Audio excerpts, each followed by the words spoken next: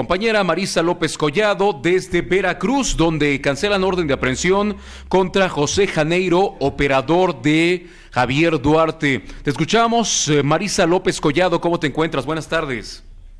Gracias Rubén, muy buenas tardes, un gusto saludar siempre a tu audiencia en esta tarde de martes. Como bien lo comentaste, ahora vamos con el tema de José Juan Janeiro, que es uno de los principales, yo me atrevería a llamarlo el principal... Eh, pues nombres o el principal líder de esta mafia que encabezaba Javier Duarte y que ahora ya no tiene orden de aprehensión porque pasa a ser un testigo protegido para la PGR porque va a colaborar con pruebas que pueden desmantelar toda esta red de corrupción que se llevó en Veracruz durante todo el sexenio anterior.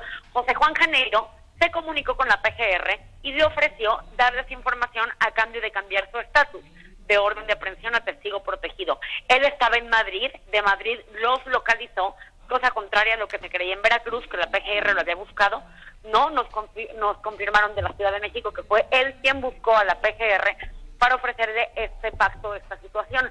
Cambio entregó 150 cuartillas de puño y letra en donde describe de perfección todo este tema de las empresas fantasma que se llevaron a cabo el sexenio anterior y que sin duda alguna va a desmantelar a toda la red de corrupción que había detrás de pues todos estos fraudes que se han cometido en Veracruz.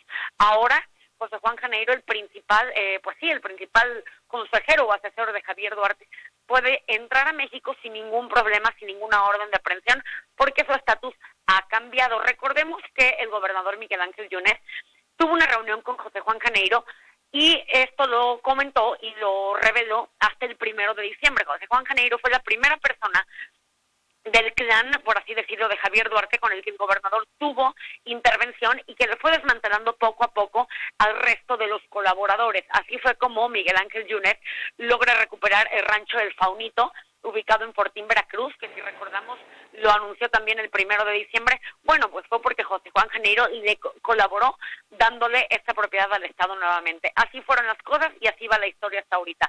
Le retiran la orden de aprehensión, pasa testigo protegido, así que seguramente vamos a ver mucha más información y muchos más nombres más adelante porque estamos en el inicio de una investigación bastante interesante, Rubén.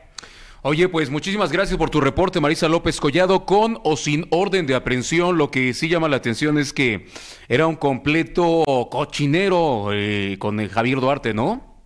Sinceramente era un estado que no tenía ni pies ni cabeza, pero que los veracruzanos nos, nos acostumbramos a vivir, o más que nada, pues nos resignamos a vivir en las situaciones en las que se vivían. Y ahora con esta alternancia histórica que nunca hemos tenido en Veracruz, las cosas han cambiado y se están destapando todas estas coladeras cada vez nos indignan más, no solo a los veracruzanos, sino a los mexicanos en general. Muchas gracias, un fuerte abrazo y que tengas extraordinario día, Marisa López Collado. Gracias, Rubén. Abrazo de regreso para la Ciudad de México. Correcto, aquí estamos en contacto directo en el punto crítico. Información útil para la toma de decisión. Estamos en nuestro recorrido por los estados de la República Mexicana y